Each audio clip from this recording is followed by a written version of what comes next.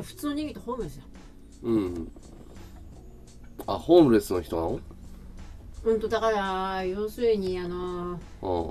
天才はみんな外にいるから天才だ。天才？おばちゃん天才大好きだから。天才好きだよね浅井さんね。そう天才。そうだの。うんとね心を打つの、これはねやっぱりねあうの、ん。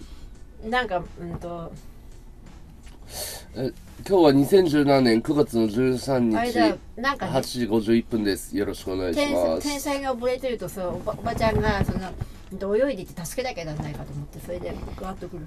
一緒は天才？天才だよ、うんと天才だよね。大変だ大変だと思ってるうちにそれすごい消耗するからだからね。うん。うんとさ実際に自分が助けた方がいいよ。うん。天才だよねあんたも天才だけどよく暮らしてますね。俺天才？天才だよ。うんとどういうふうに天才かっていうとあの、意識操作せい天才だ。意識操作の天い才あのい一番だよ。どこにもいない。い意識操作？そう意識操作ってあの、うん。和道さんに分かる言葉にしちゃダメなの今のんちゃんに分かる言葉で喋ってるから。意識操作？俺俺の意識？え？え誰かの意これ識もうついてるよ。おはようございます。和道さんは意識操作の天才ですであの天才は天才のお仕事するそうでどうぞよろしくお願いします、うんあとはあ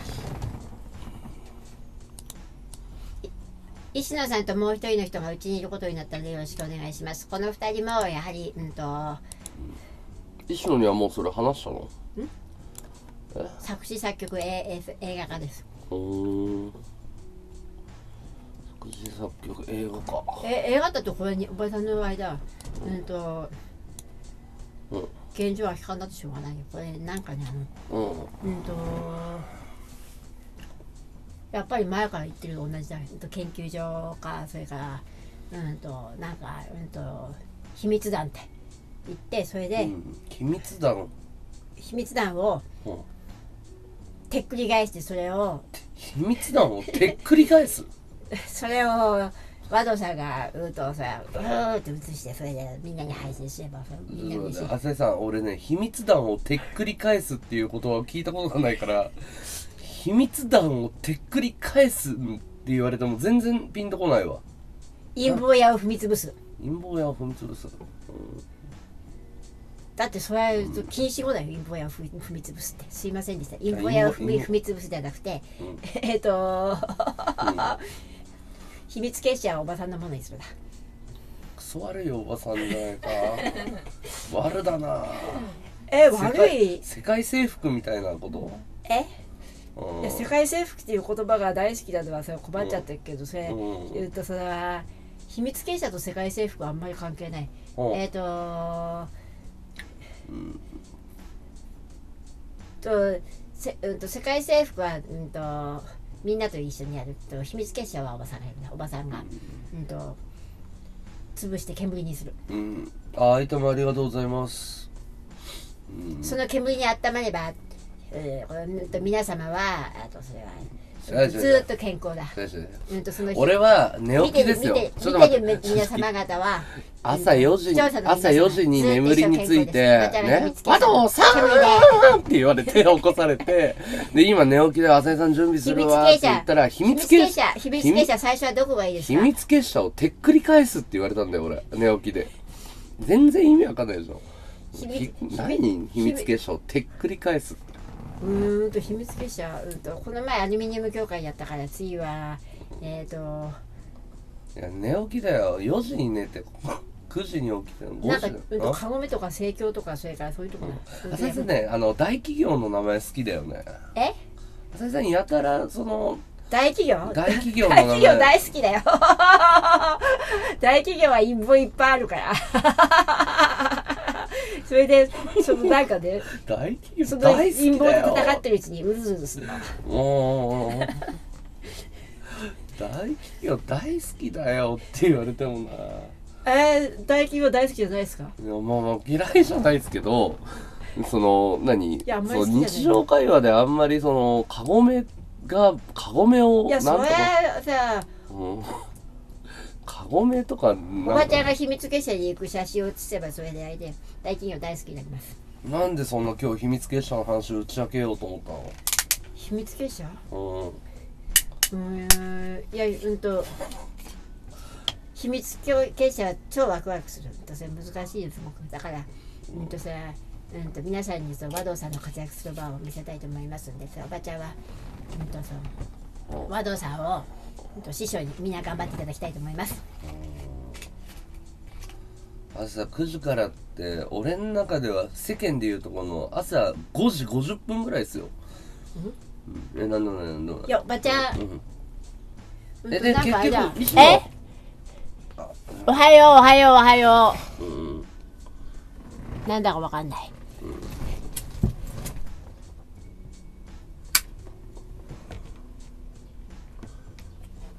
界中のカビと戦わなきゃじゃなくて和道さんのオーラはカビの色がしますよ。全然違うからえ？これ。和道さんのほら髪の毛が最初は黄色についてる黄色に輝い輝いてますって言われてたけどそれは実は放送用の嘘だって言われて本当は和道さんのオーラの色はカビ色だって言われたんだよ今ご近所までカビ色が広がっているところです。俺うん。でそのカビ色はうん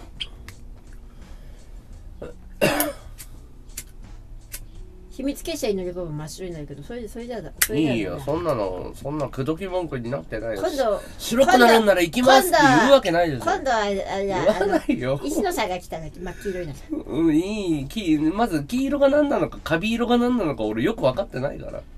黄色とカビ色とあと何があるんだろうね。うんとなんかなんだっけここ紫黄色。黄金え黄金色？なんだか虎虎？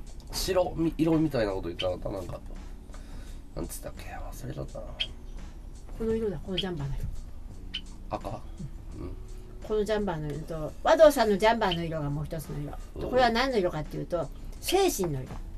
精神みな皆さんの言う皆さんの言う心精神とそれで一般一般語で言うとうん。心の色。心の色ね。で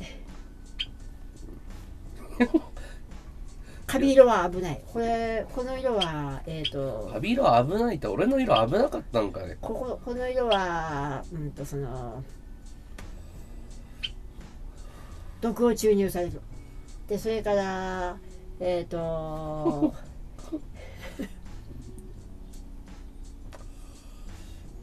黄色は2つを弾くで世の中には。いやいやちょっとさっきの続きなんだけどカビ色と。カビのこ話のこはさておのこのきジャうんと和道さんのジャンバー色がありまして。浅井さんえ？いやこ川れが世間というれてるけど。ものでありそしてあのうん国があるその世界世界というもの浅井さん石野は結局住むの住まないの？石野さん住む？浅井さんだから、うんと、もうもう一人あの、うんと、見つかりましたんで天才がでそれで、えっと、ばちゃんと一緒に、えっと、え？住もう。一応住もうという方向性で言ってます浅井さんの家に石野は住むんだ？いつから住むの？いやだからあれだうんと住んだら皆さんに報告します。一応方向性だ。方向性の話だ。今。おー。だけど二人気が合ってたから多分住むと思うよ。うん。え何？浅井さん石野と誰か別の男が共同生活をするの？そうです浅ね井さんの家で。でと隣はおばちゃんが住んでます。うわすげえな。ワクワクすっぞ俺はワクワクすっぞ。ワクワクって何？いやい素敵やん？と思って。あ世の中からこの色とカビ色が消えるいだよ。やカビの話もいいよ。もう俺わかんないもんその。カビカビとかオーラとかわかんないもん。あそっか。それはすごいな。うん。うんとそのわわ、え和道さんがこれ本当カビ色とこれを、消す主催者けんと消す主催者になるだから。俺が主催な主催俺よく分かってないのに？え？俺よく分かってないけどオーラとオーラのカビ色と革ジャンの色社会情勢を変える先駆者になれるんだ。その詐欺でしょそれ。社会 社会情勢を変える先駆者っていうタイトルのセミナーで俺が司会やって浅井さんがカビの色の話するんでしょクレーム全部俺に来るわ。いやカビ色とそれからあれだそれダメだよ。和道さんのジャンバー色の話だよなんだそのセミナーは。だやらないよそんなセミナー。なんで俺だからが司会やる社会は悪だから善にしましょうってことだよ。わかんないでしょ。じゃあ叩かれるのは誰だ？俺だよ。母じゃねえよ。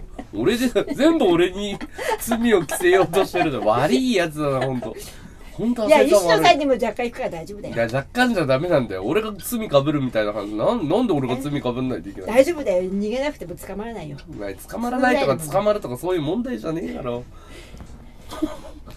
なんだよその先駆者って。いや社会を善にする先駆者は和道さんになりました。なってないから。やらないから。あ早速いつやりますか？やらないっつってんの？お断りを今してんの俺。うん名前は社会を善にする会議ですか？いやいいね。そういう名前の問題じゃないよ。うんカビの話は誰も聞かない。うんと社会を善にする会と現実を善にする会。うん。あーひどいなで和道さん。がギターを弾いて私が拍手を喝采する俺ギター俺ギター弾かないといけないの人のなん。でだそれギターギター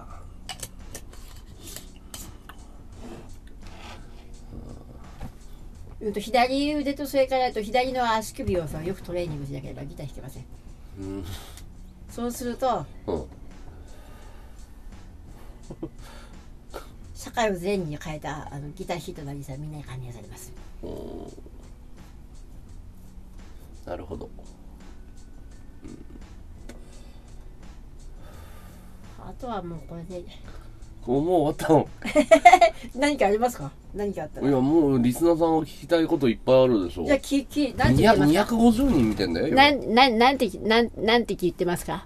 じゃあ皆さん質問か電浅井先生ああゆさんこうるさいうるさいマイクが近何おいから。ばさん？うん。配信助けてもらってんだ。あじゃあじゃあおばちゃんに質問。あ悩み相談やろうか。今日かかってくるかもしれないから。浅井さん前やりたいって言ってたじゃん。浅井さん電話相談。悩みそうだ2名2名限定1人今日は。質問だじゃあ質問コーナー今日は。電話電話かけてもらう？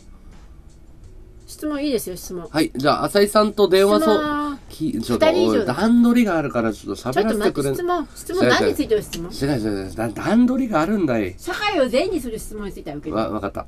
えっ、と、皆さん、えーちょっと限定されたコーナーになりますが、えー社会を善にする質問がある方は、えー LINE を公開してますので、配信者さん、えーリスナーさん問わず、えー社会を善にする質問、社会を善にする質問がある方は、えー、凸をかけてきてください。1名様限定でやります。はい、よろしくお願いします。じゃあコメント読んで大丈夫です。どうぞ。はい。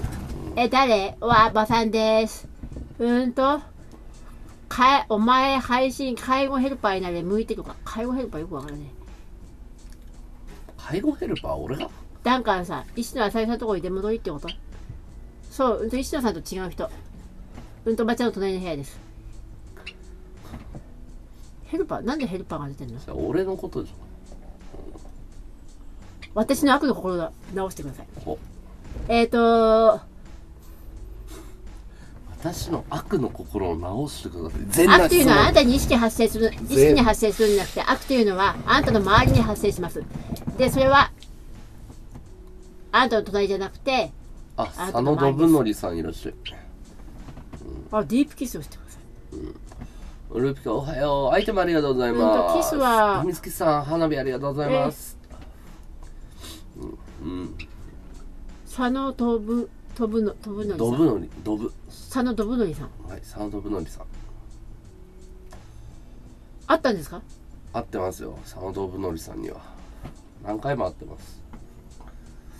石野は無事なんで大丈夫です。えっ、ー、とおはようございます。やべえ、ややべえ話でおはようございます。和道さん復活おめでとうございますの花火ありがとうございます。ありがとうございます。さん。あ、土下座名人さん。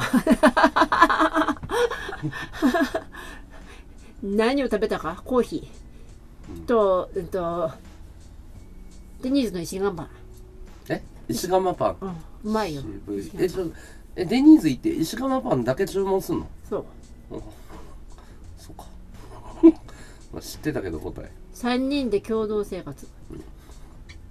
いや、だから、おばちゃんが隣の部屋だって言ったんだ。で、それで何をするかっていうと、ほうんと、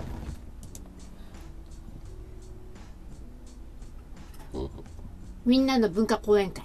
みんなの文化講演会？だから、うんと社会を善にする活動で、な、な、な、最近何セミナーとかそういう、なんかそういうのやりたいの？浅井さんは？その、なんか、講演会的なことが今日はすすごいじゃん。そうだねおばさんに会う場所を作りたいオッケーオッケー。何人ぐらい、その、人数、ほら、講演会って言ってもさ、あの、1000人とか2万人、2万人はねえか、1000人とか、100人とか10人とか、講演会っていろいろあるのよ。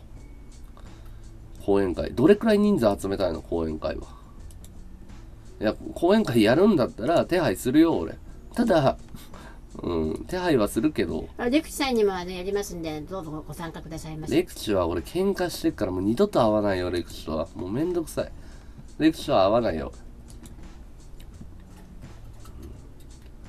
いやよ要するにね、うん。あのその芸術の向きを変えるだよ。だから芸術がと現在、うん。うんとその悪の社会を作るのにそのなんかこう、うんとそのボコボコボコボコボコさ悪を沸かしてるようなさ力があるから、うんそれを善が沸かす沸か善を沸かす力に変えようというわけでそれをやるとでそれで、えっと、2年ぐらいやってりゃあと社会の、うんとせこの世界にあるさ芸術はみんなさ善がぐつぐつに変わっちゃうんで、うんでやったーだ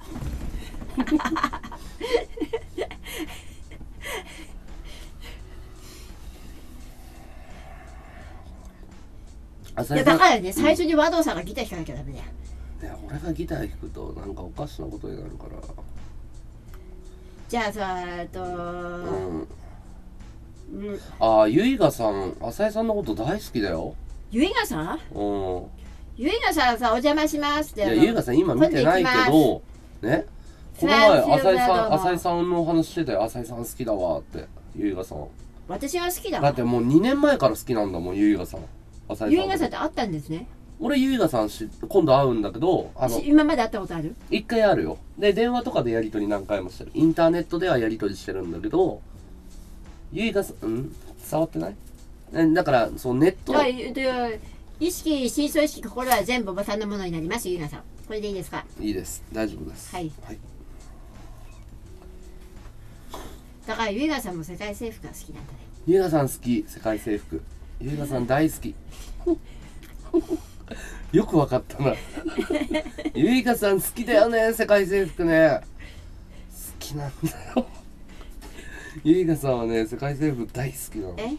じゃあ、ゆいがさんと協力して100倍の勢いで世界を征服しましょそうですね。う。で、それで、和道さんが助けたで、それ全部収めるんじゃない？ですか。えゆいがさん俺の先輩だよ。助けるもん。何をいや、だから、うんと、先輩。先輩だよ。パイセン？先輩っていうかパイセンかな？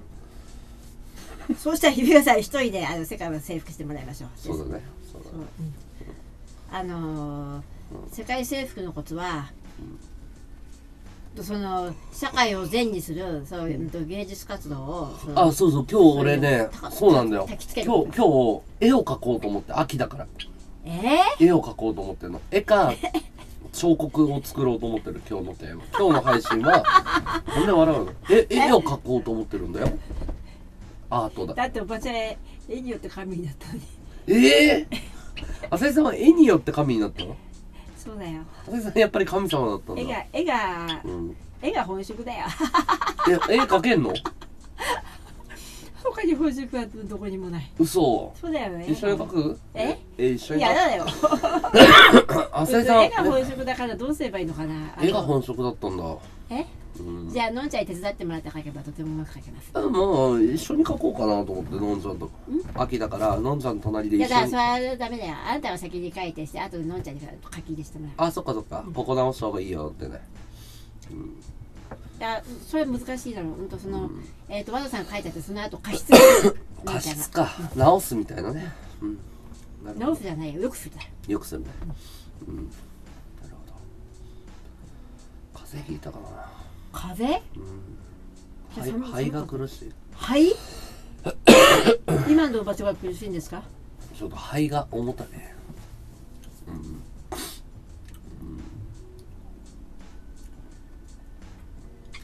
と左浅井さんさ左の背中にあいや左の背中はいいんだけど浅井さんポイントもらわないとお金に換えないとなくなっちゃうよ？ポイント。変えてる？左の背中にも問題があるよ。水が溜まったかもしれないよ。うんまあいいんだけど浅井さんさふわっちやってポイントもらってるでしょ？花火とかアイテムとか。あれお金に換えないと消えるよ？あああの衣装さんがわざわざさんのとこ行った方がいいよって言ってました。うんやってあげるよ。大丈夫だ。いや大丈夫なんじゃなくて 有効期限があるからいただいたやつをお金に変えないともったいないよっつうの。うんじゃなくて。いやありがとうございました。しなくていいんですか。だからそれ誰誰々様といくらですかってそれで表につけてその掲示しなきゃダメですか。だからそれはやんなくていいやんなくていい大丈夫。それは表になってるから。え？表になってる。自動で。その表みんな見れるんですか？みんなは見れるはずだよその和道さんの表っていうのみんな見れる。俺の表は隠してる。俺は非公開でやってるから表は隠してるけど浅井さんは表出してるかどうかえじゃあ表表出してでさら表出してにみようか。さらにそれ私の活動内容はこれこれこれにつき皆さんありがとうございましたにしなきゃダメだようん。それはできるよ。浅井由紀子。浅井由紀子。フォロワー。ああ表になってるよだから多分社会を善にする活動だからそれは和道さんが多分なんだけど多分2 3 0 0円入ってるよ。2 3 0円じゃ効かないな、うん、結構2000円かうん2000円多分5000円ぐらい入ってるけどこれなくなっちゃうよ浅井さん。5000円5000円もないかな。4000円ぐらいかないやだからそれはあの表をそと外に見やみんなが見えるように出していや見えるってもう見見えてんのは俺が見てんだから。私の活動をうん。うんとそのみんなにとさ知らせる内容をここに作んなきゃ。ホームページに作ればいいですか？ツイッターに作るんですか？いや、まあ、いいや、だから別に、ここにも作ることできるけど、俺が話してるのはそういうことじゃなくて、だからあ私の活動内容先にはいや書かいやだから書かなきゃ詐欺じゃん。活動内容は健康とは幸せの方に向かってることですって書いてあるよ。アメブロ、ツイッター、ホームページにいろいろ書いてあるんだ、YouTube とか。うんいや、まあいいや。まあ、浅井さんの金だから、なくなろうが俺には関係ない。いやなくなったらダメですねだから、うんいや、だから、だったら設定しないと。何を設定するの？携帯で銀行に振り込むようにしないと。銀行の今日何も持ってないうん楽天銀行持ってる？楽天銀行？うん。楽天銀行なんですか？楽天銀行あるよインターネットあまあ郵送とかでいいか。郵便局とかか。の方がいいか。郵便局？うんまあまあいいよ、うん、そうそう。活動内容でお金を払ってるんじゃなくて放送でお金払ってるから別に気にしなくていいんだよそこは。その楽天銀行っていうのいいですね。楽天銀行に一つ口座作った方が作りたい？インターネットで申し込むんだよ。パソコンで申し込む。ーインターネットでそうインターネット上。とできなそうだね。うん。石野にやってもらえばいいですか？うんうん一緒にやってもらおう。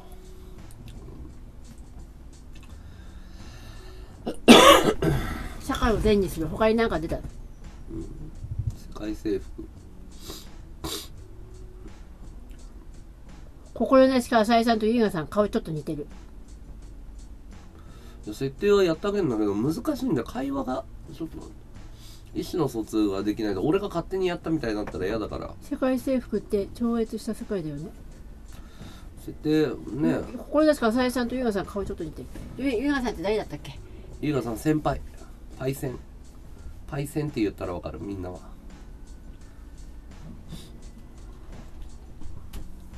世界への気合が違ってるからみんなわかります。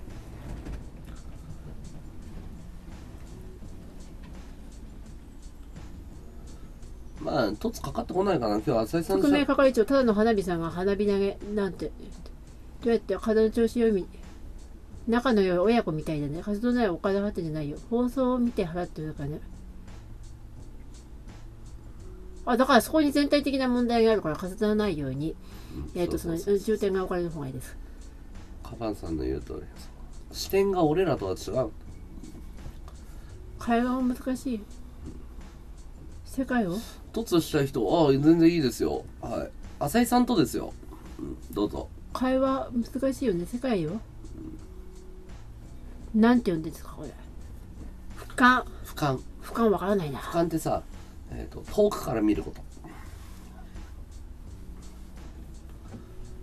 うん。おやすみおやすみじゃないおはよいや、うんと、ワドさんと俯瞰眺めてる。私近くから見てる。で中から見てる。う中から見てる。はあ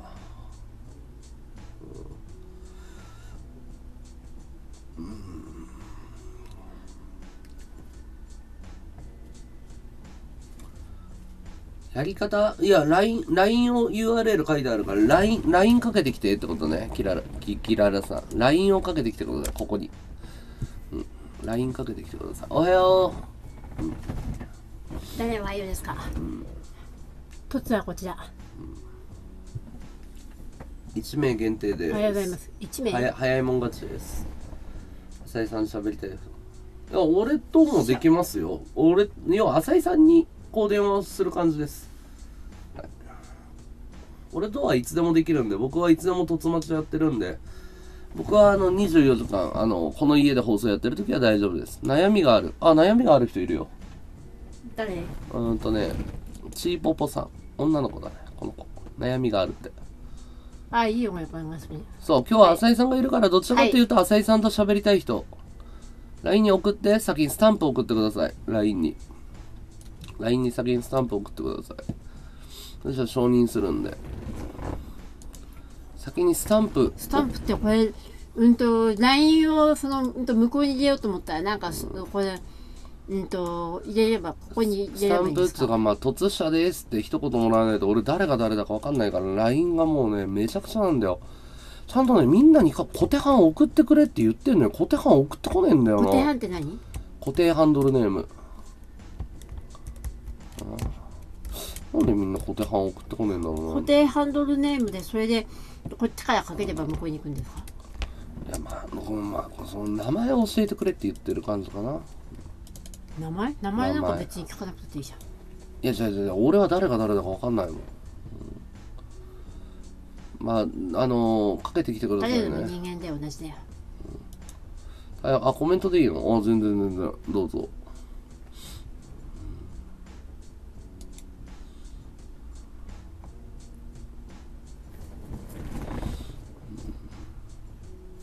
それは何？誰かの作品？いや分かんないけど浅井さんのファンだよ。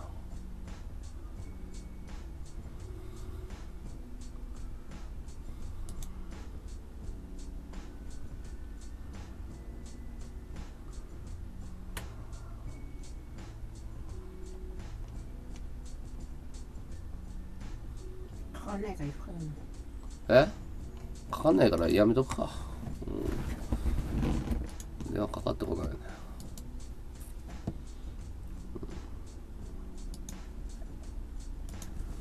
じゃあうんとこれはその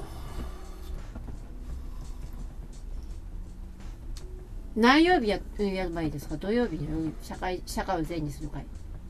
土曜日？日曜日が土曜日がいいですか？でもまあ土曜日か日曜日っつってもね。なんかうーんと。普通の日の夜。普通の日の夜っていうかどこでやんの？場所は？お金かかるよ。場所借りるの。いやとかね。場所だったらあれだもん。一番安いところかしよう。ダンスあダンススタジオとか。浅井さん知ってんの？それいやそういうその辺のスタジオ借りればこの前のようなところにおお分かった分かった。えで俺は宣伝すればいいの？浅井さんも宣伝するんでしょ？何曜何曜日がいいんですか？いや浅井さんの講演会どうする？社会を善にする会だよ社会を善にする会。でできれば和道さんがギター弾いていただければいい。俺全いや私。然ギター弾いてもいいけど。まず私歌う。うん。でも俺エレキギターだから音出ないよ。フォークギターじゃないから。エレキって電気かければ一緒。で電気ってアンプがないとスピーカーがないと音出ないよ。スピーカー？今バイト決まってて焦っていろいろ受けたら全部採用されてしまってどこでしょうか？あ飲食介護パチ屋カフェ。パチ屋は体力勝負時給が高いけど。飲食はまあまあ普通。介護はちょっときついと思うからカフェがいいと思う。よカバンさん新宿の部屋1時間300円ぐらいで借りれるで楽しょ。さで言ったらカフェ。客層で言ったらカフェ。パチ屋はもうあのすさむし体力使うしタバコくせえけど金になるって感じかな介護はまあお年寄り好きならいいんじゃない？ね飲食はまあ普通かな。まあ料理がうまくなるみたいな。俺はカフェがいいと思うよ。うん。何曜日がいいんですか？何曜日？俺？いやーもうわかんない。未み来んな何曜日がいいと思ってる？わかんない。みんなに聞いてみてよ。みん俺わかんないよ。責任持てないよ。うん。あパチ屋は面接対応いいよ。なんでか教えてあげる。日曜日？あのすぐ辞めるからすぐ辞めて入れ替え激しいから面接の子をすごいよく土す曜日るの夜。行くか分かんないよ俺。約束はできないよ。まあ土曜日の夜だよね。うん。わかりました。うん。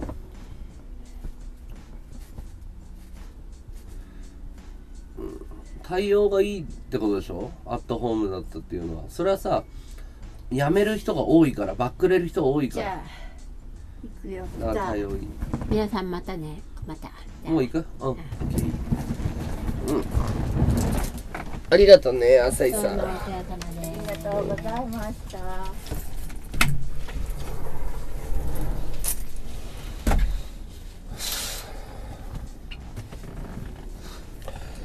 あのね朝日さん忘れてる。これ俺飲まん。朝日さんのんちゃんどうもごちそうさまでした。のんちゃんいつもありがとう。ございますごちそう。さまでございます。ありがとう。ねあいてあいてじゃあねどう。も。あいやどう。も、です。はいのんちゃんどう。も、またで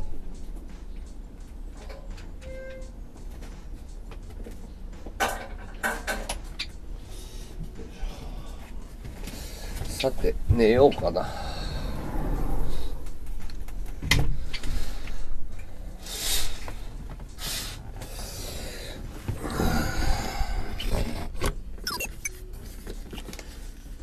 あまあ資格は取ってほしいだろうね。うん。介護はだから本職になる可能性あるよ。そっち側につくかどうかじゃん。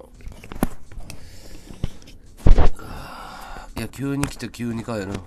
いや俺はこの方がありがたいんだけどね。なんか約束の日時がどうのこうの約束守んねえとかそういうの苦手だからさパッと家に来てパッと帰るっていう要件済んだらっていう。もうすげえ助かる浅井さんは。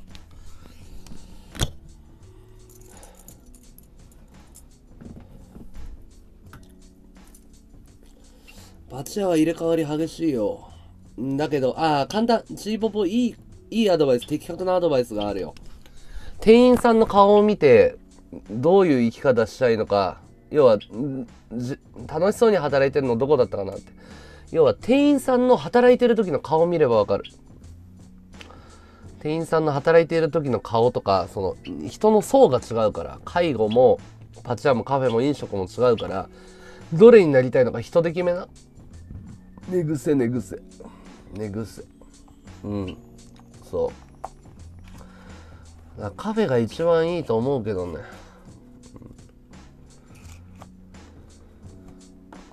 うん。ねえクソまみれとかひどいこと言うやついるよね。介護は結構ブラックで有名だよ。うん。介護は結構ブラックで有名。介護職辞めた人知り合いにいっぱいいるわ。でもお年寄りのね方が好きな人もいるから生きがいになってる人もいるから一概には否定はしないけど、うん、カフェだと年をいやバイトでしょ？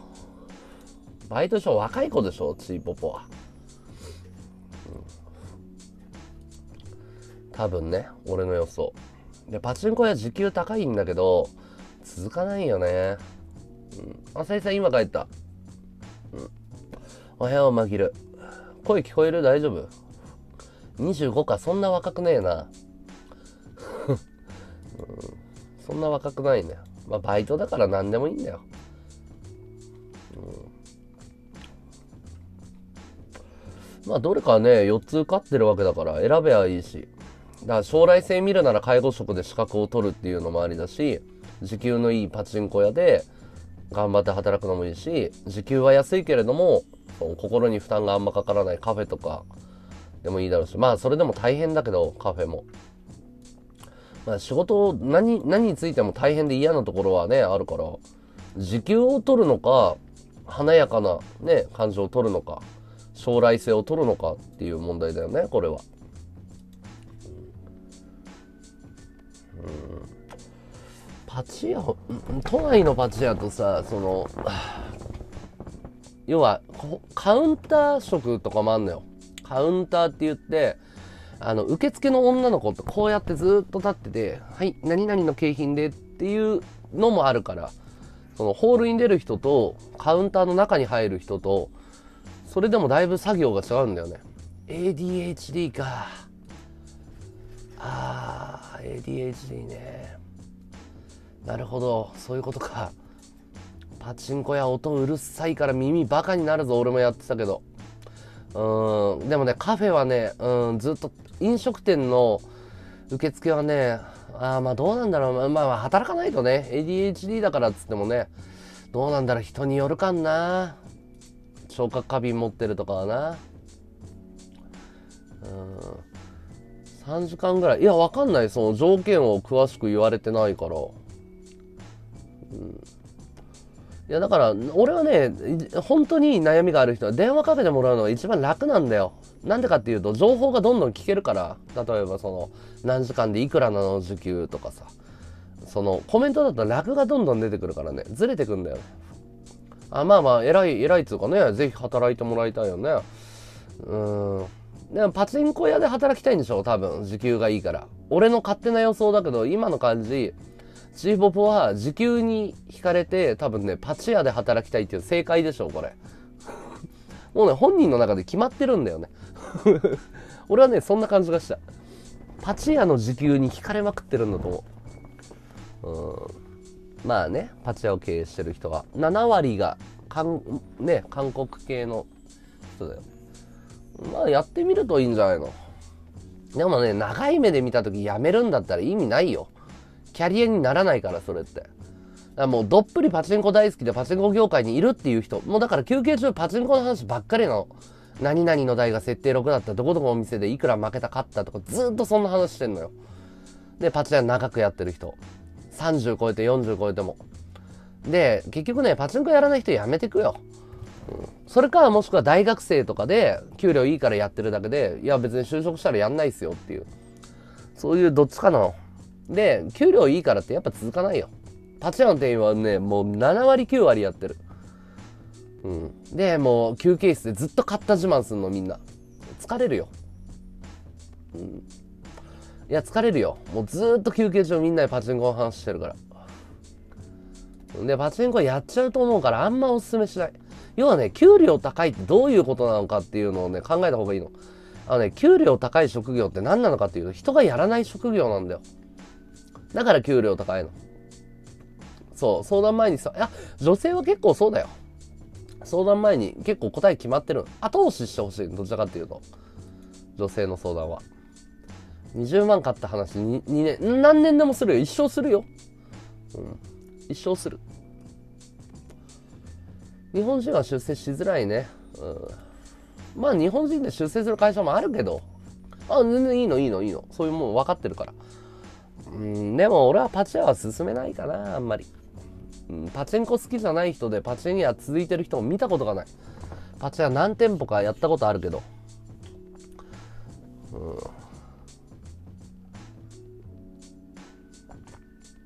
パチ屋悪質な客を追い出すのやる程度。それはね裏方の黒服の仕事なの。あのそれはあるの。職業でバウンサーみたいな人がいるの。要はね店長の下に3人ぐらいかな。1店舗に3、4人幹部がいるのよ。で、昼勤、夜勤で、そう、2人体制で回すの。朝と昼を。だ合計4人と店長。大体こんなもの大型店だと。で、アルバイト、えっ、ー、とね、朝方だと、大型店だと9人ぐらいで回すのよ。で、ホールに、えー、2人とかで回すんだけど、もうね、ひどい客はね、黒服出てくる。だからね、みんな覚えておいた方がいいよ。パチ屋で黒服出てきた時は結構修羅場だから。そうそうそう。これ本当だから。揉めてる時大体スーツのやつと揉めてるから。うん。台ぶったたきまくってるやつとか。小さい黒服いたけど 大丈夫なの。小さい黒服は、だから交渉力に長けてる黒服なんでしょ。やっぱり幹部になるぐらいだから。あの、カイジで言うところのあの、サングラスかけたあの、ざわざわの、あの、部下たちだから。やっぱり、ね、何かしらの能力を持ってる。低愛グループの人たちだから。長くする職業ではないよね。学生とか、うん、あんまりおすすめしない、俺も。うん、まあ、時給はいいんだよな、本当にな。例えば、普通のカフェの仕事が800円とか850円だったら、パチ屋は1200円もらえるんだよ。でかいよね。1日9000円とかもらえるから、そこは魅力的なの分かるよ。パチ屋と監禁所は強盗起きそうで怖い。来ない。絶対来ない。セキュリティ万全だから。あのね、パチ屋で強盗なんて不可能だよ。ニコラスさん、無理。無理。無理無理無理。セキュリティ完璧だから。だからまず裏に入れないよ。指紋認証付きの、なんつうの？もう全部セキュリティだから。パチ屋で強盗しようっていうやつアホだよ。すぐ捕まるよ。聞いたことないもん。パチ屋で強盗で逮捕とか事例ってほとんどないぜ。介護系は950円。パチ屋先生、それは揺らぐよな。わかるよ、気持ち。俺もそれでパチ屋やってたから、続かないよ。で、選び直すのもったいないし、だから未来を選ぶ。もう本当に短期でやるんじゃなくて、がっつり将来食ってくっていうことを勉強って考えたら俺は一番いいのは介護。介護が間違いない。カフェは将来性ない。パチ屋も将来性、まああるっていうか正社員登用あるけど、うん、介護が一番将来性はある。なんでかっていうと食いっぱぐれないから、介護系は。で、あの若い人いないからもう超可愛がってもらえるから。ただ、ま、ハードだと思う。まあ、俺、950円だったら、まあ、都内かな？カフェいいと思うけどね。うん。監禁所はなんであんな体験あるのに、おじさん、おばさ、あそこはね、もともと住み込みさせてたの。いや、あれ家だったんだよ、もともと。家に住ませて、その監禁をさせるっていう。だあれ、生活スペース裏に見えたりするとこ未だにあるでしょ。名残で。パチンコ屋の裏裏の出入りは無理よ。うん。バイトでも入らなかったもん。入れなかったっつうとね、俺がなんか強盗やる、強盗やる予定だったんかいみたいになるけど、あの、朝出勤する時とか入れない。黒服がいないと入れない。地元の警官に賄賂渡してるって言ってるけど、用心棒警官じゃないんだ。ああ、もうセキュリティ普通に入ってるし、まあね、あの、それ多分昔の話だよ、警官に。うん、賄賂渡してるっていうの。まあ、今は賄賂ってやり方じゃなくなった。正確に言うと、カバンさん。あのね、天下り先になってる。警官の。要は警官辞めて60ぐらいになったら、うちの会社のいいポジションつきますよっていう接待の仕方だよね。表、もう完全な賄賂やっちゃうとパクられるから、警官も。介護は、だからハロワ行くと VIP 待遇だよ。若い人だったら。飲食店、カフェ、介護、介護系は、あのね、昼間働いた方がいいよ。まあ時間短いって言うけど、あのね、な、あのね、まあ、まあでもね、やってみるといいよ。わかるよ。やってみるといいよ。やりたかった。時給1300円でいいと思うけど、あのね、お金じゃない部分だよ、そこって。仕事って毎日毎日行かないといけないもんだから、あのー、あんまりいい顔してる人見たことねえな、パチ屋で働いてて。うん、うーん難しいんだよ。介護資格ね、あの、いいよね。本気で、その、将来正社員になりたいとかいう気があるんだったら、食いっぱぐれないし、いいと思うよ、介護は。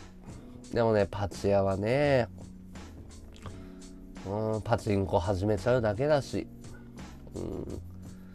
捨て頃で、そうです、負けた人です。それがレジャーランド90元の会社。うん。時給は都市によって最低時給も違うからなんとも。まあ多分東京とかまあ主要都市だろうねこの値段は。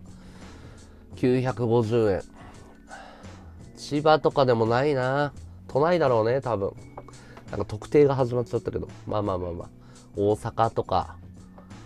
そういうでかい都市じゃない？北海道。北海道は安いんだよな。北海道ではないわこの値段。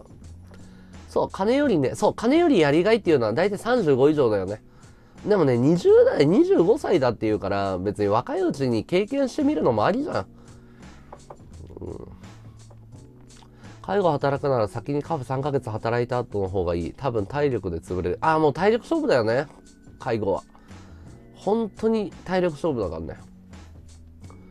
東京都最低時給、今度から、あ、上がったんだ。すごいいいね。958円か。上がったんだね。ああ。じゃあ、まあ東京じゃないかもね。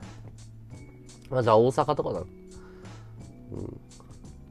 介護の夜勤はそこそこいい収入。ああ、なるだろうね。うん、みんな寝てるし。だから警備員、もう見回り的なね、感じなんだろうね。俺ね、未だにやりたいバイトが夜の警備員なんだよね。もしだからダメになったら、夜の警備員やろうと思ってる。もし本当にダメになったらね、配信業。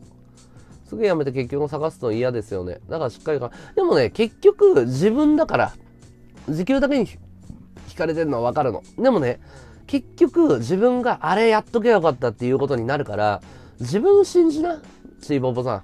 俺らはやってみて言ってるだけだから、もしかしたらチーボボちゃんに合ってるかもしんないから、自分で経験して自分で答え出すもんだよ。自分で答え出すもん、全部は。東京はだって家賃が高いもん、生活水準変わんないよ。多分よね、みんなそれで東京に人が集まるの。タウンワークとか見て、えーって、俺成田だったら800円とかなんだよ、時給。いいところで。ね、800円とかなのに、東京見たら1200円とかゴロゴロあるの。1500円とか。で、いいじゃんって思ったらさ、成田の家賃倍とかするから、意味ないんだよ、結局。3万円、4万円高くなっちゃうから、あれ？って結局地元にいるの生活変わんねえじゃん。それが現実だよ、東京の。その田舎の方から上京した人。でも全然変わらない。そんなもんよ。時給高くていいなって言ってるけど、高いだけで生活水準何にも変わんない。本当だよ、これ。そう、やってみて失敗することだよね。ああ、ダメだ。そうだ。前科は絶対ダメだ。警備職はそうだ。夢がなくなったわ。そうだ。そうだ、ダメなんだ。警備会社ってめちゃめちゃうるさくて、そうだ、前科者絶対雇わねえわ。うわー、やっちゃった。俺もう警備一生できねえわ。そうそうそう、東京はね、遊ぶところだよね。買い物したりとか。夜の仕事ばっかりか。何百円とかの時給を見ちゃうとなんかって思ってしまってる。いや、だから、その夜の仕事すごいんだよ。その3000円とかでしょ、最低。うん。まあでもね、25歳超えてね、飲み屋ずっと続けていくわけにもいかないしね。まあでも、いい、いいチャンス。でもね、元キャバ嬢、うん、やっぱカフェがおすすめだけどな、俺は。いや、いや、ケーキ超えて5年、5年経ってんのかな。結構稼いでるキャバ嬢じゃねえかよ。働くのバカバカしいか。すげえな。1日10万って結構トップの方のキャバ嬢だね。あまあ、でもバカバカしくなると思うよ。ああ、そうだったんだ。風邪だったんだ。はいはいはいはい。なるほど。あ俺はカフェおすすめ。で、もしパチ、パチは正直言うと一番おすすめじゃない。で、やってみればいいよ。うん、やるんだったら。金、金じゃって言うんだったら。でもね、その450円の差要は1日2000円、3000円の差だけど、でかいじゃん。でかいけど、その、長い目で見た方がいいと思うよ。これからの。うん、逆に俺は介護を進めたいね。介護。逆に。うん。あの、将来性で言ったら介護がいいと思う。うん。前科あるよ、俺。え、そうなの？前科って前歴になんの ?5 年経つと。へえ。え、本当に、うん、おはよう。綺麗な仕事ほど時給が安い。綺麗な仕事っていうね、まあ言い方、うん。あの、需要と供給だから、人がやりたくない仕事は時給高いって覚えておいた方がいいよ。うん人がやりたがる仕事は時給が低い。はい、ワドツ、おはよう。うん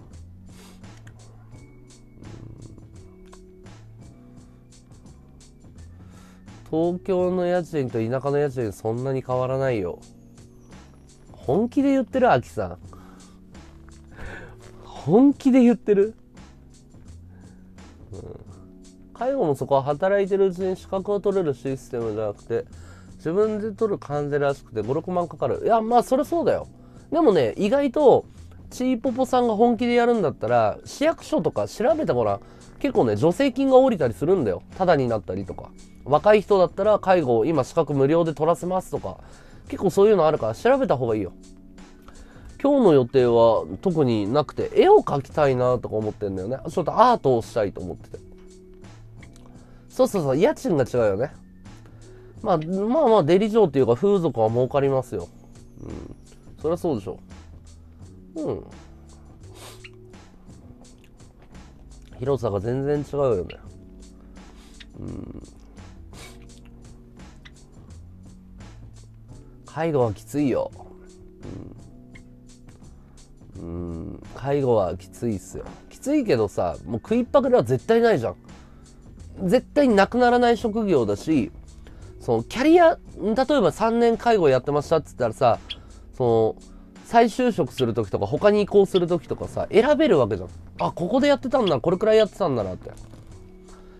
そう。だから、武器になるっていうか、キャリアアップ。キャリアを詰めるじゃん。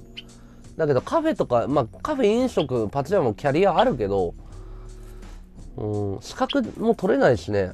パチンコ検定3級とかないからね。うん。会話きついけどね、うん、そうなんだよね。結構きついんだよね。リアルな絵の具で描こうかパソコンでサムネイル作ろうか迷ってるね。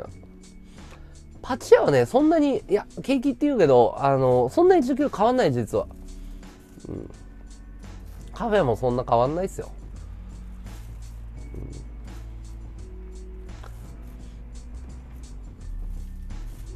まあ、パチ屋がね、受付だったらいいんだけどね。受付だと現場に立たないで、その景品カウンター、だからずっと立ってるのが楽ね、大丈夫かどうかだよね。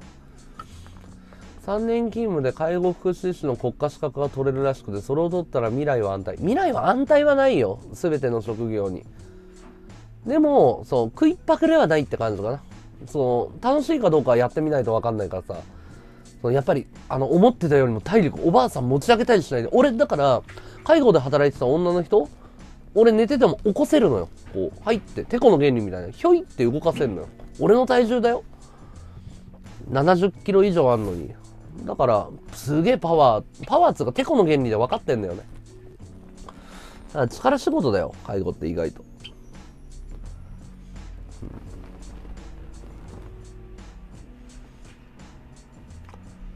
精神病の介護も大変らしいよ。うん。そっちはそっちでも何言ってるか分かんないから。安泰はないよね。うん。何事も。だからまあ自分がやりたいの選ぶのが本当に正解だよ。うん。チーボポちゃんがこれだっていう自分で決めるね、最高の人生をね、選んで。失敗なんかないから。うん、俺がダメだったことがね、チーボボちゃんには合ってるかもしれないから、なんとも言えねえよな、こういうことって。でもまあ4つ受かったってことは、ね、まあね、若いし、ね、あ、この子しっかり働きそうだなって判断されたわけだから。うん。介護行かない方がいいんだ。ああ、精神病ね。うん。やばいやつがいっぱいいるでしょ。はい、ワード2。おはよう。介護士やばい人じゃないでしょ。患者さんでしょ。そうそうそうそう、10年後だよね。まあでも25歳に10年後見ろっていうのも難しいけど、うん。ねえ。でも、3年経ったら28だぜ、チーボボ。5年経ったら30歳だぜ。仕事選べなくなってくるからね。うん。介護士いるんだ。精神やばい人が。あのね介護士で自殺の話はよく聞く。結構大変だって。うん。行けば入社はできるしね。正社員になれる可能性高いじゃん今。介護の仕事をしている友達が2人いますが腰を壊してサポーターしてる。そうだね。パチ屋もそうなのマッサージマシンも買ったやつそっち系は指を巻かれた。あまあまあだから職業はやっぱ自分で決めるべきだよね、うん、そうそうちょっと合わなかったらすぐ辞めるっていう。やって辞めるっていう。どどんな才能が眠ってるか分かんないからね。あとねそういうのはね友達に聞いた方がいいよ。あの遠すぎるからリスナーさんと配信者の関係だと。俺がちーぽぽちゃんのこと知らなすぎるからその家族とか友達とかに聞くの方がいいと思うよ。私何向いてるかなみたいな。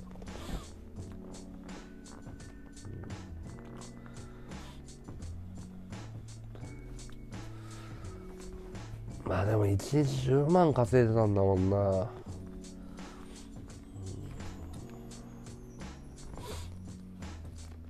いややっぱ同じこと言うでしょ？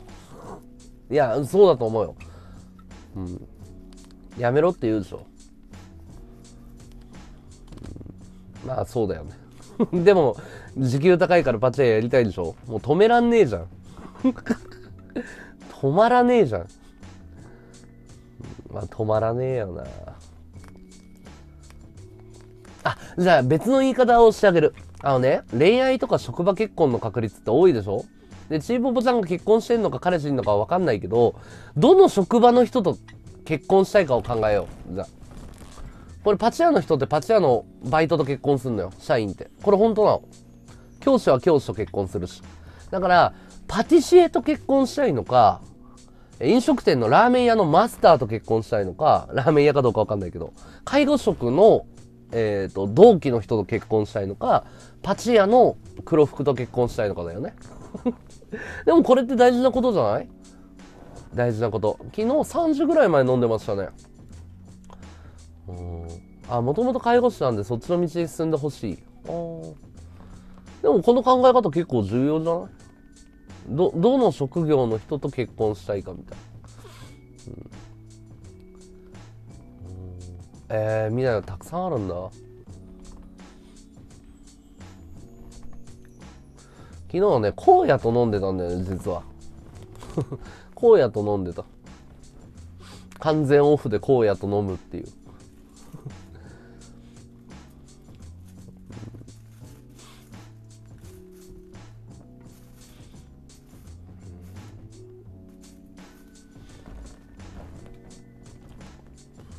下田歌劇下田歌劇かなってずっとやっぱ思ってたけど下田歌劇じゃなかったね荒野さんだった荒野パイセンだったでも荒野起きんの早くね？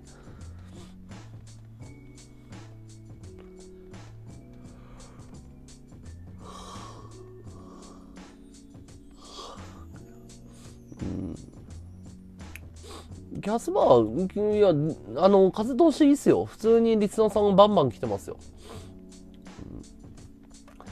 そう職場の人と付き合えるかって見方採用する方もそう思って選んでるあまあそうだろうねうん荒野と配信してて俺バーに行こうと思って出たら外に出たら荒野がいてでおお互い配信切れてたから「お疲れ」っつって「どこ行くんすか?」って言ったから「あプライベートで行きつけのバー行くけど一緒に行かない?」って言ったら「あじゃあ」って「じゃあ俺出すわ」って言って行こうっつって俺の隠れ家行った俺のセーフハウスに。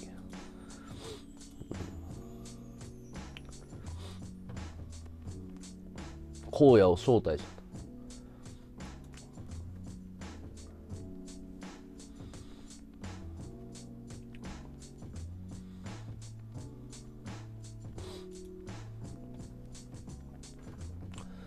いくらぐらい？えー、キャスバーはた、えーチャージが500テーブルチャージ500円の飲み放題が1時間1500円かな？あ、岩立つ。だ延長1500円で、例えば3時間いたら4500円。3時間で5000円？飲み放題な。飲み物だけだったら。で、食い物が1000円以内ぐらいかな？おつまみ、唐揚げとかいろんなのあるけど。彼氏は時給とかの問題じゃないじゃ、あ、彼氏はいるんだ。うん。彼氏はいるんだ。彼氏はいるんだけど、最初はパチは反対されて、腰も痛めるし、厄介な客も相手にするんだよって言われたんだけど、結果働くのはお前だから、お前が判断。いや、そういうことだよ。自分で、ね、もう決めるしかないからね。じゃないとね、やっぱりあれにしとけばよかったって、俺らに言われても、俺ら責任取れないから、うん、ああ、配信外で話できてよかったみたいなこと言ってた。いや、それが面白い話がいっぱい聞けて、こうやって、その、なんか金梅さんとか、なんかその配信論みたいなことになるんだよ、やっぱ会話が。で、荒野ぶっちゃけどうなの？みたいな。その配信者として今乗ってるじゃんみたいな。どこ目指してんの？みたいなこと聞くわけよ、俺は。で、そしたら荒野は答えんの？いや、僕、その有名になりたくてやってるとかじゃないから本当に素でやってるんだってただ普通にやってるだけなんでなんかそのななんか別にないっすよみたいな金稼ぎたいとか閲覧欲しいとかでやってないんですよねって言っててああそうなんだ言って。だから僕プロじゃないっすね。って言ってて。プロ配信家って和道さんわかるんですけど僕はプロじゃないっすね。って。なんか意識がないみたいで。いい意味で。であそうなんだって。はい。だって僕4年前か5年前僕金梅さんのリスナーだで大ファンだったんですよ。あそうなんだっつって。じゃあ今ね金梅さんのことずっと好きで見てたのに今金梅さんにこうやって絡めてもらって嬉しいでしょっつったら「はい」だって金梅さんの枠のタイトル僕の名前出たりするんですよ。嬉しいっすね。普通。だからねなんかね荒野はその配信者としてどうしようとかじゃなくてなんか勝手にもてはやされてるっていう自覚があるらしいの。なんか俺普通にやってるだけなのになんか勝手にお金くれるし勝手に閲覧集まってくんすよねみたいな。そういう感じだったね。意外だった。狙ってやってないっていうかキャラも作ってないし別に普通にやってますみたいな。欲がなかったねあんまり、面白かった。うんそうそう荒野パイセンとね。うんまあまあちーぽぽちゃんねなんかね頑張ってね。仕事はねいい仕事に出会えることを祈ってますよ。荒野もう飲んでんのすげえな。精神病院に看護師で勤めてる知り合いがいるけどきついとは言ってない。言わないだけかもしれないけど。ああいやまあ職場もほら当たり外れありますからねジークさんね。微妙なところっすよね。キャスリポに全力で録音ああじゃあ認められたんだね。うん。荒野昨日配信は仕事言ってましたよ。ああそう言ってたんだ。仕事って言ってたんだああ、言ってたな。なんいや、仕事なんだけど、なんかその、なんつうんだろうな。プロ意識みたいなものは芽生えてない的なニュアンスなんだと思う、多分。これで飯は食ってるから、プロは仕事かもしんないけど、なんかその、要は俺がプロプロ意識、なんかその、うるさい方じゃん。職人気質っていうか。だからそういう感じではないです、みたいな意味合いなのかもね。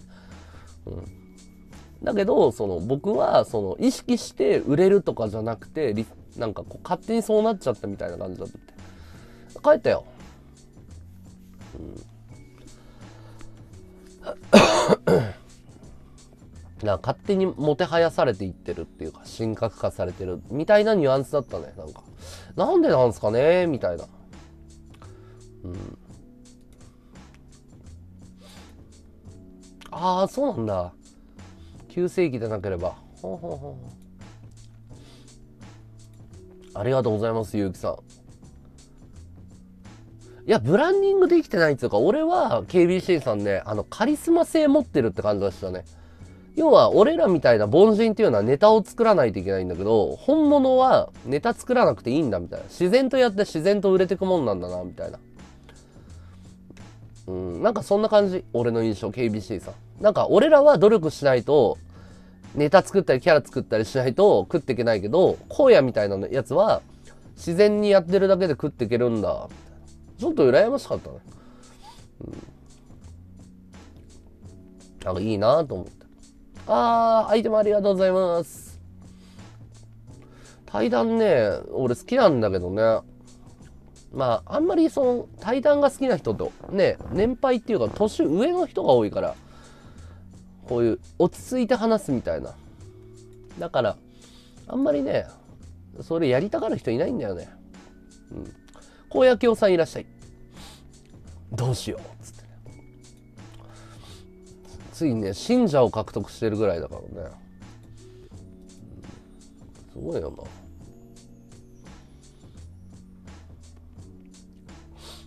初見さんありがとうございます。いらっしゃい。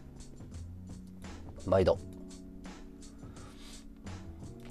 ゃんと会話ができない人との対談は聞いてても面白くない。まあそうだよね。うん、コンペイトーさんおはようございます。ていうか、金梅さん、金梅さん、ちょっと笑ったんだけど、金梅さん何やってんの？金梅さんなんであんなことになったの？いや、ネットのツイッターの情報、ツイッターのエゴサーチでかき集めた情報だと、ヒカルくんに閲覧追い抜かれて、なんか土地狂った金梅さんは、え、たまちゃんとちょめちょめして、えっ、と、バンになったと聞いたんですか？本当ですか？で、ふわっちで配信して、引退しちゃって本当ですか？本当？すごくない？流行ってるのか？俺引退詐欺許さないですよ。引退詐欺だけは許さないですよ、僕。詰めますよ、金梅さんのこと。徹底的に。追求しますよ。リスナーさん怒りますよ。あー。いや、金梅さんもね、ぶっ飛んでるよね。いや、ツイート、いや、便所さんのツイートで知ったんだけど、便所さんツイートさすがだよね。はい、ワードツー。うん。いや、まあ、あれはバンですよね。あれはバンですよね。え、たまちゃん酔っ払ってたのかな？うん。金梅さんはあの後警察来て、お店と示談。あー、まあ、そりゃそうだよね。そりゃそうだよね。っていうかね、金梅さんのタイトルが深かったんだよね。俺の人生なんだから、ほっとけみたいなタイトルだったっけ？なんか 俺の人生は俺が決めるからほっとけみたいな、そんなね、テロップだったんだよね。いやーなんかもうかっこいいのかかっこ悪いのかよくわかんねえわ。うん。荒野はだから育てたいんだろうね、リスナーさんが多分。多分、そう、え変な言い方だけど、やっぱラジコンが欲しいわけだ。で、育てがいがあるわけだ。だからそういう期待があるんじゃない？こいつをなんか、だノエルに似てるっていうか、ノエルの時と。だから大人が、こう、育てたい、育てたいみたいな。可愛い可愛いみたいな。なんかその、成熟したコンテンツを見るっていう感じじゃなくて、育てるのが楽しい。ピカチュウですね。荒野は。ピカチュウです。かわい可愛いピカチュウですよ。みんなのピカチュウ。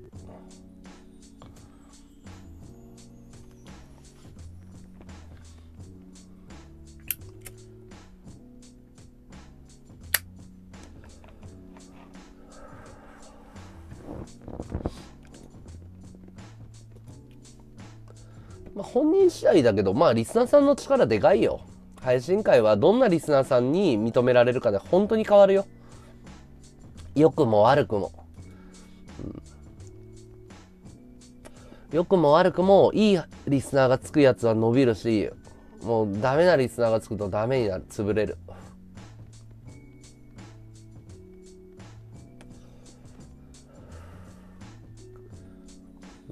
ああ、そうなんだ。ポンスケさんのパクリなんだ。え、でも、金梅さんも別に何言ってるか分かんないじゃん。だって、金梅さんの雑談ってさ、えええおはマジか ええって言ってるだけじゃん。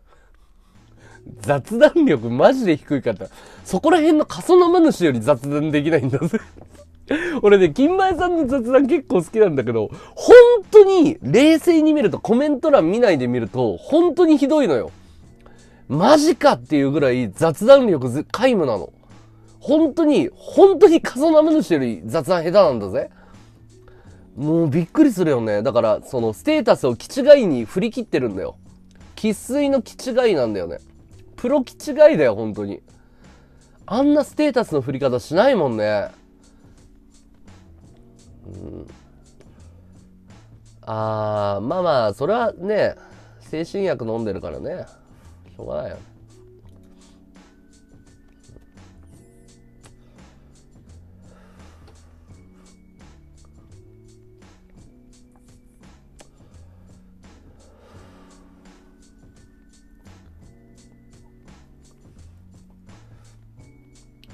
きちってるから流れ愛されてるに近い。いやー、すごいよな雑談なくてもね、あそこまでいけるんだっていうか、神になれるんだ、みたいな。ヒゲとタバコが様になる。ありがとうございます。嬉しいっす。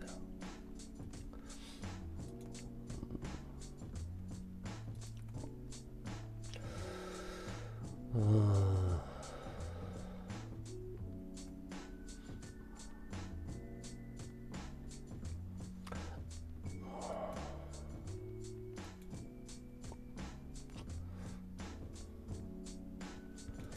なんかギターでも弾いたらさらにかっこよくなる。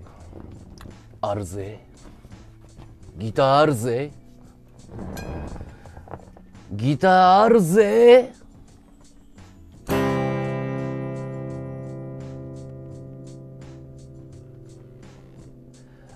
あるんだぜ。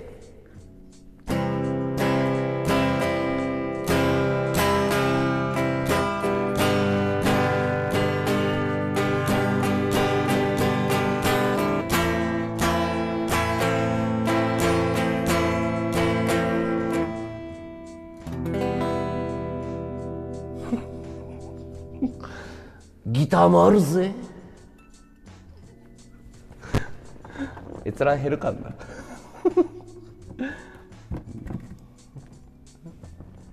ギターの弦買いに行きたいな。やられた。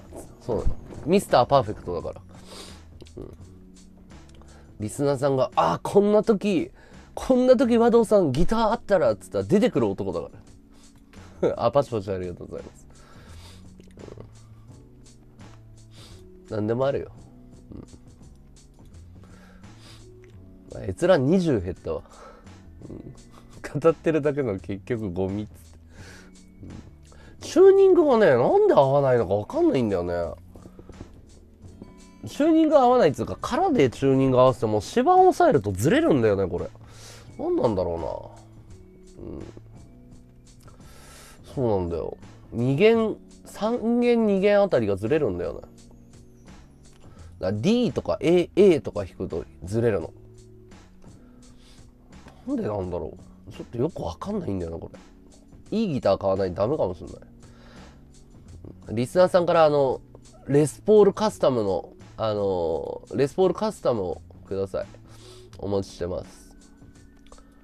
てか俺ジャイロキャノピー本気で買おうか迷ってんのよな。免許取ろうかな原付。ボブ・ディラン聞いたことないですね。ジャイロキャノピー欲しいんだよな。いくらぐらいで売ってんだろ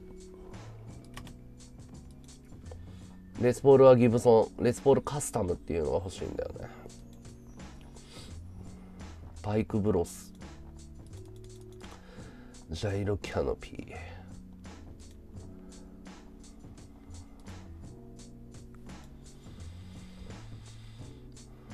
34万24万。23万41万。高いなジャイロ。ジャイロ高えわ。高く売れるんだろうな。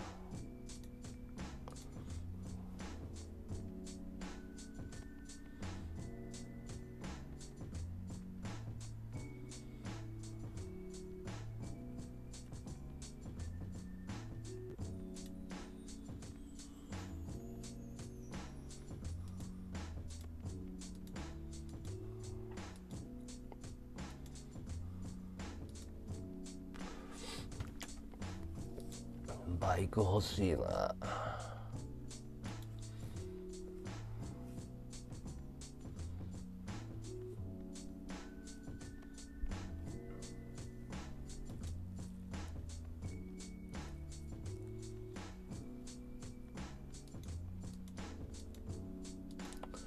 俺もよっさんと並んで走りたいもんなジャイロで。走り屋の血が騒ぐぜ。10万円とかでも売ってんな。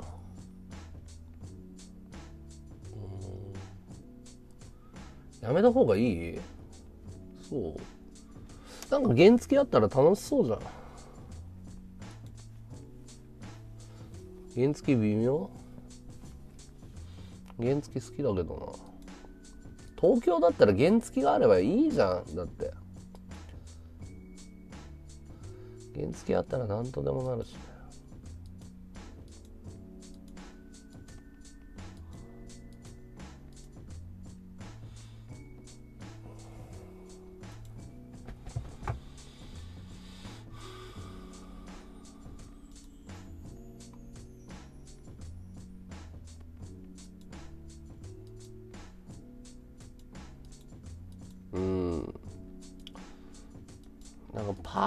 なんかだって東京から原付あったらさどこでも行けるぜ。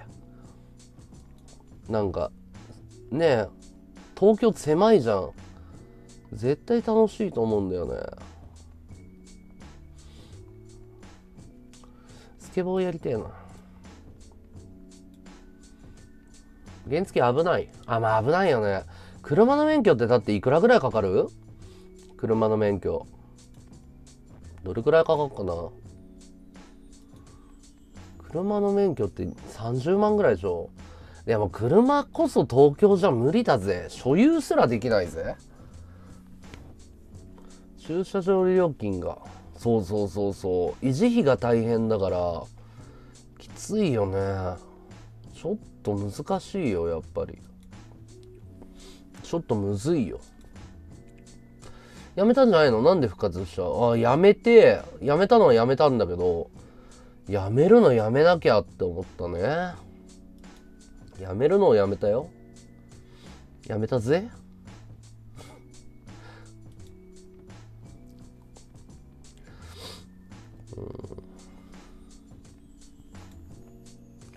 やめ続けたいよね。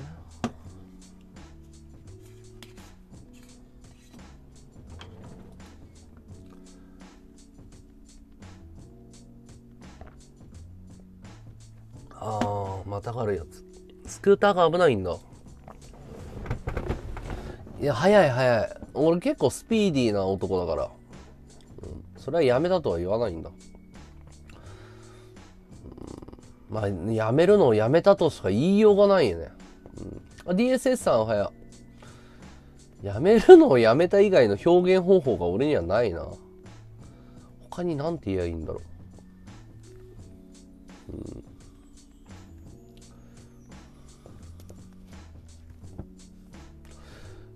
軽自自動自転車か。なんか雨に濡れないやつがいいんだよな。雨に濡れないやつがいい。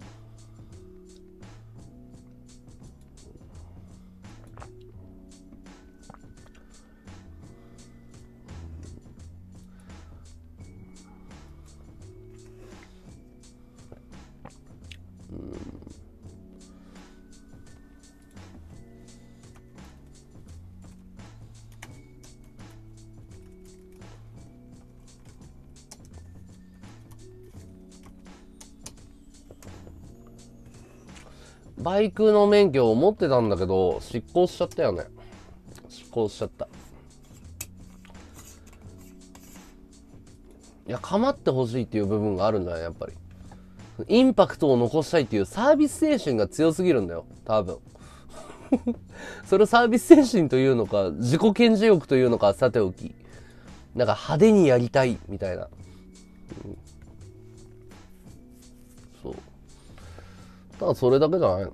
あんまり深い意味とかないよ。なんかみんなが、なんか深い意味を、みんなは言うけど、なんか配信者なんか適当なやつばっかりだからな。なんか考えてやってないと思う。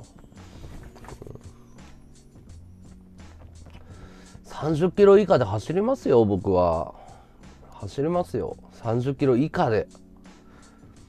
50cc 高速は乗らないかな。高速は乗るつもりない。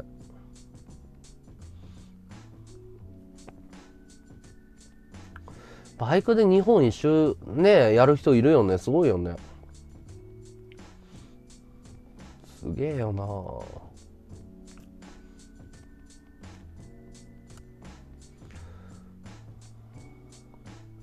バイクで配信はそんなにあのクリップで止めるやつがあるからコメントさえ拾わなければ大丈夫。映すだけだったら。垂れ流しっぽく。コメント拾うのは自殺行為だよね。リミッターをね、30キロしか出ないようにね。うん、法定速度守ったらどうなるんだろうね、日本ね。めちゃめちゃ危ないよね。走ってる車からするとふざけんなっていう微妙絶妙なスピードだよね。危ねえよっていう電動自転車は別に欲しくない。電動自転車はいらないかな。あんまり欲しいわと思わないわ。ロードバイクって何？ロードバイク？ロードバイク？ロードバイクっていうジャンルがあるのかい？あ、船舶ね。あ、でも、あれでしょ？撮ったんでしょ？あ、ロードバイクはいいね。ロードバイクいいよね。ただね、荷物が多いから、そう、配信用のこと考えると、要は、な、10、20キロぐらい背負うわけじゃん。だからね、ロードバイク無理なんだよね、やっぱり。ママチャリになっちゃうんだよ、配信者は。なんねみんなロードバイクなんで乗らないの？って思うでしょあんなに長時間こぐんだからって。違うんだよ。荷物が、収納が難しいんだよ。かっこいいんだけどね、こんな都内でね。ロードバイクね。いいよな。乗りやすいんだ。収納の問題があるからね。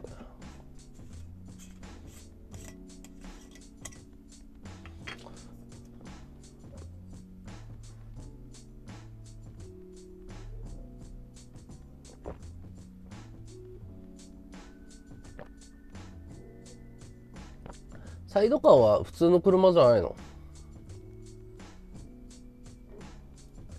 あれはあの車扱いなんじゃないのかな。サイドカーとかつけると。違うのかな。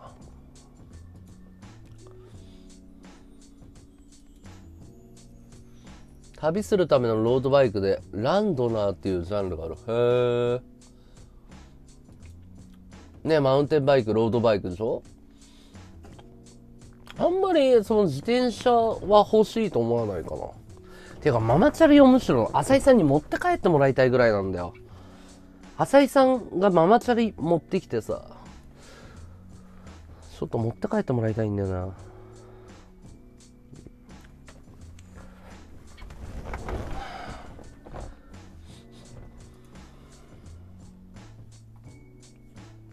ちょっと困ってる。や浅井さんいや石野が前使ってたやつだから俺欲しいって言ってないんだけど。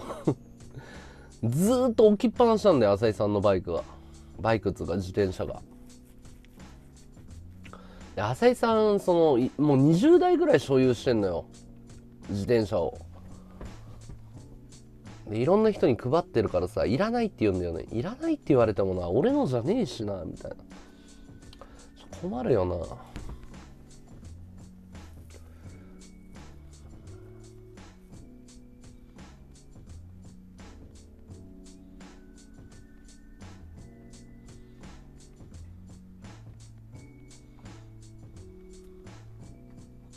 いや浅井さんすごいよねやっぱ。じゃあ皆さんお疲れ様です。僕は今日の放送終わりにしたいと思います。ありがとうございました。お疲れ様です。あ間違えた。ありがとうございます。さよなら。お前コメント欄荒らすなよ。バカとかハゲとか書くなよ。なんでお前動画の内容も見ねえでお前バッドボタン押してんだよもう。